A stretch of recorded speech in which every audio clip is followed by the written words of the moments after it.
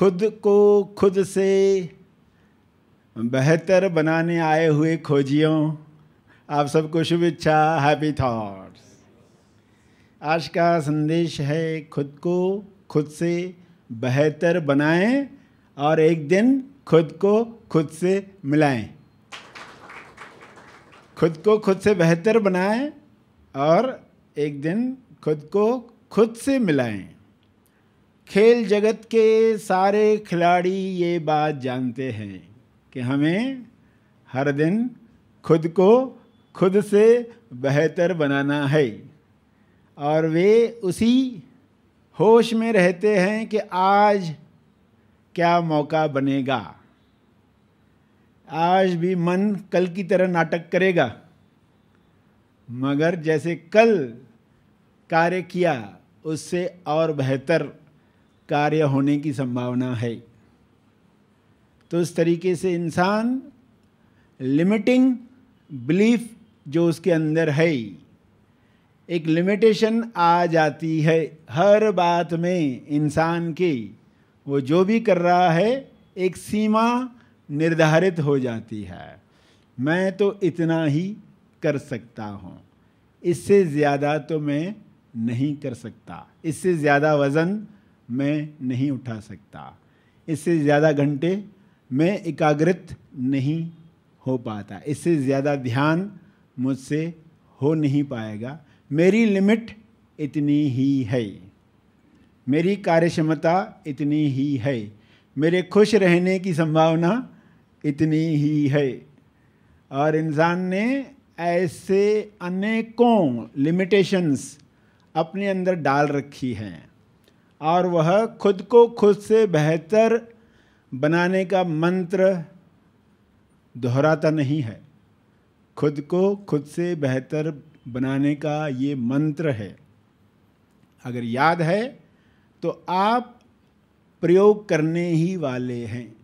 चाहे एक ग्राम आपने ज़्यादा उठाया, चाहे एक मिनट आपने कार्य ज़्यादा किया, आप अपनी लिमिटेशन तोड़ रहे हैं, आप आगे बढ़ रहे हैं तो फिर आप लिमिटेशन तोड़ पाते हो, आप रॉन्ग बिलीफ तोड़ पाते हो, क्योंकि हर इंसान कोई ना कोई धारणा मन में बिठाए हुए है, उसी धारणा अनुसार उसको रिजल्ट्स आती हैं, और वह सोचते रहता है कि बाहर कारण है, जिस वजह से मुझे इस तरीके से प्रतिसाद मिलता है लोगों का, या इससे ज़्यादा धन मिलता नहीं है, या इससे ज़्यादा प्रेम प्राप्त नहीं होता, इससे ज़्यादा मित्र मेरे बनते नहीं है, इससे ज़्यादा न होने पाने का कारण बाहर का संसार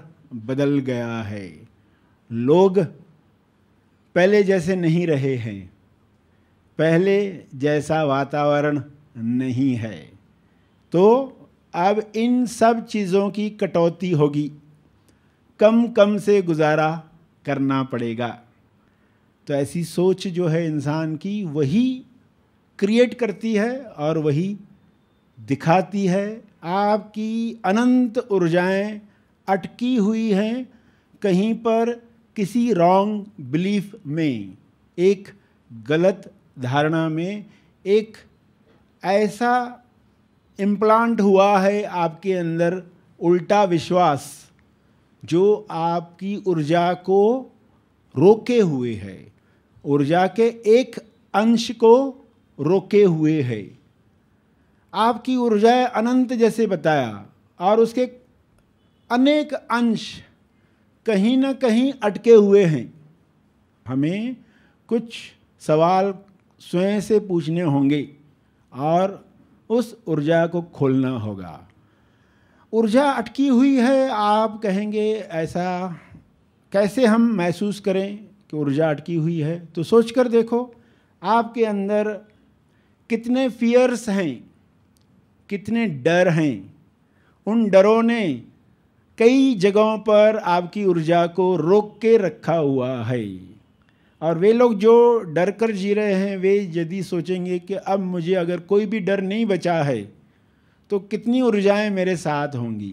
चिंताएँ जो भविष्य की आप कर रहे हैं, वे समाप्त हो गई तो कौन सी ऊर्जाएँ रिलीज़ होने वाली हैं? जैसे ही गलत धारणा प्रकाश में आती है, आप स्वयं को खुला हुआ महसूस करते अचानक फ्यूचर की जो चिंताएँ चल रही थी, वे समाप्त हो जाती हैं। आप खुशी से गुनगुनाते हुए अपने कार्यों में लग जाते हो। ऐसा क्या होता है? हुआ क्या? सिर्फ़ एक अंदर गलत फहमी दूर हो गई और आप खुल गए। तो हर इंसान पृथ्वी पर कुछ न कुछ मानकर जी रहा है। उसको वापस से सवाल पूछना चाहिए, क्या इस सोच में कोई धारणा है। अगर आप सुनते हो सब मान्यताओं का खेल है तो इस खेल को मैंने कितना समझा है। क्या मैं इस खेल को अपने लिए इस्तेमाल कर रहा हूँ? क्या ये खेल मुझे खुश रहने में मदद कर रहा है? या इस खेल में मैं फंस चुका हूँ? एक ऐसी छोटी धारणा भी इंसान को सिकोड़ देती है, अंदर डर रहता है, बिल्ली ने रास्ता काटा है आज तो वो भी ऊर्जा को सोख रहा है, पी रहा है, छीन रहा है। आप अब इसे बदल सकते हैं, आपको स्वयं को प्रश्न देना होगा, आपको ठीक नया उल्टा दोहराना होगा। एक्चुअली वो सुलटा है, मगर उल्टा इतना दोहराया गया है। कि वो उल्टा लगता है।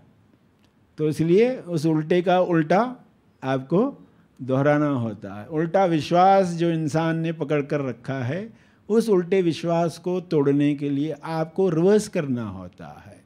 और ये भी आप देखोगे, मन ये भी दिखाया गया कि जिस दिन बिल्ली ने रास्ता काटा, उस दिन और बेहतर हुआ। उस दिन और बेहतर हुआ। बिल्ली में ताकत नहीं है आपके लिए कुछ गलत चीज़ें भेजने के लिए। ताकत आपकी ही थी। आपने अप्लाई करनी थी। आपने रुक कर सोचा नहीं। खाली आप रुक गए। मगर रुक कर सोचा नहीं। आप रुक गए और कोई और वहाँ से गुजर जाए तो मैं जाऊँ। मगर ये रुक कर फ़ायदा नहीं हुआ। आपको रुकना है अंडरस्टैंडिंग के साथ कि सचमुच बिल्ली के पास ताकत है। या ताकत आपके अंदर है। खुद ही को खुद से बेहतर बना सकते हैं। और ये आपका नारा है, विकास, तेज विकास का। तो आप स्वयं को रोकोगे जब भी ऐसी कोई छोटी मोटी बात अपने अंदर से आई, सामने वाले से आई।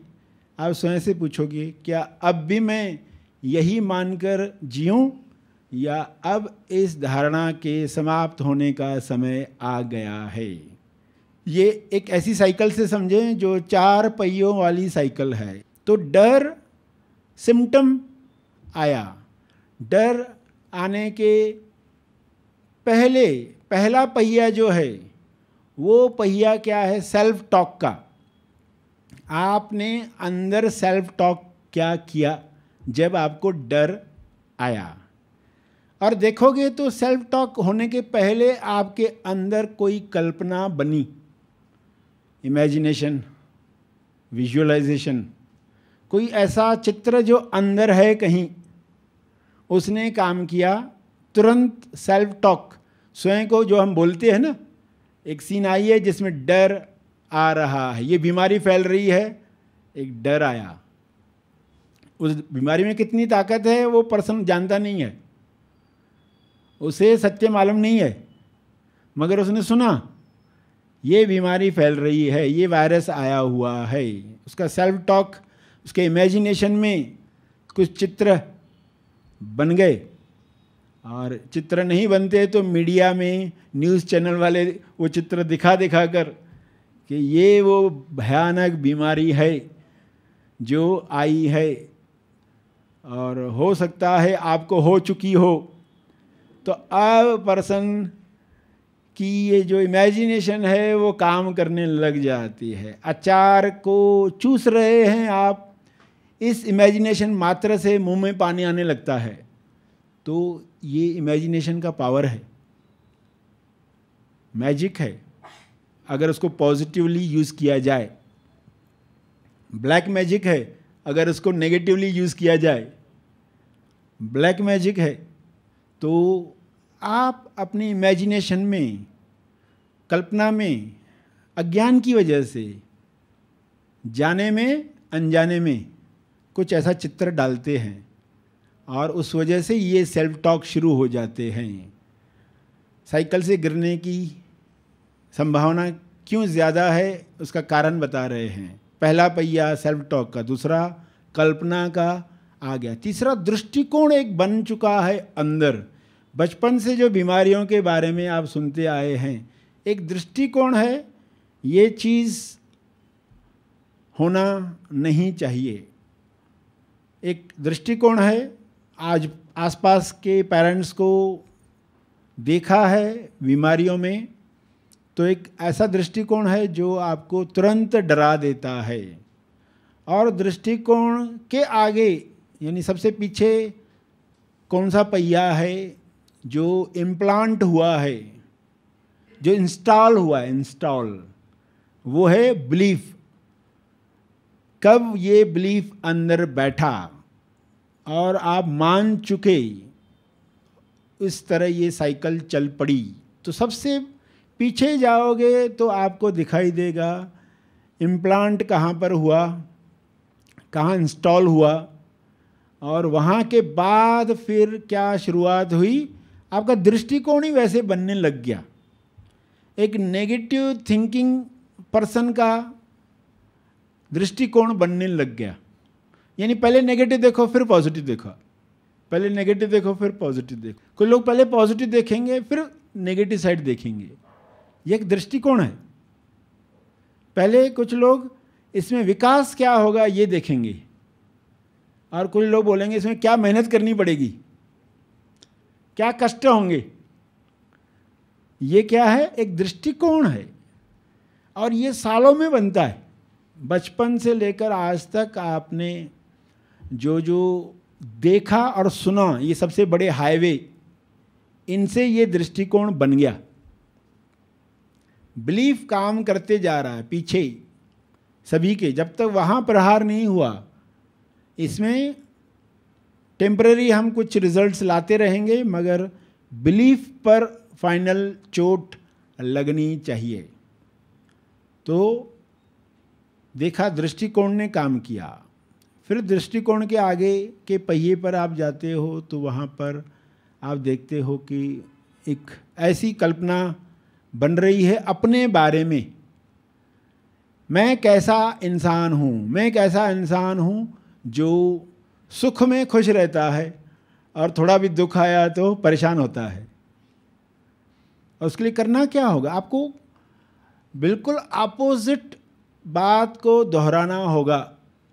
अपोजिट बात पर काम करना होगा। जैसे आप एक पंक्ति दोहराते हो, जो लोग लेट पहुँचते हर जगह पर तो उनको कहा जाता है अभी अब दोहराना शुरू करो। मैं पूर्ण हूँ, पूर्ण से हर काम पूर्ण और समय पर होता है। ये पंक्ति दोहराई ना? आपने एक पंक्ति डिज़ाइन की अपने लिए। आपको ये एग्ज़ाम्पल बताया गया। आपने अपने लिए इम्प्लांट किया।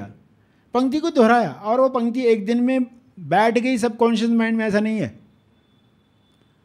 वो हमें दोहराते रहना दोहराते रहना। यानी हर दिन आप का स्वास्थ्य बेहतर हो रहा है। क्या आप ये इम्प्लांट करते हो?